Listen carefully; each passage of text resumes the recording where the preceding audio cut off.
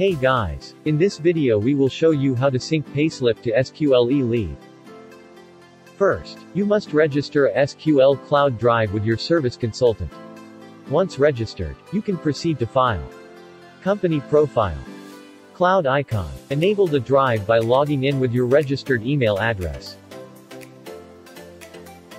Grant access. And save. Next, click on the cloud icon. Sync Cloud. Payroll. Tick Include Payslip, and pick the cycle, for example, year 2022, January to March. Choose your desired payslip format. And click Sync Now. A sync status will showing here. After it is finished, the system will display sync completed. Check out next video to learn how to view payslip in SQL eLeave app.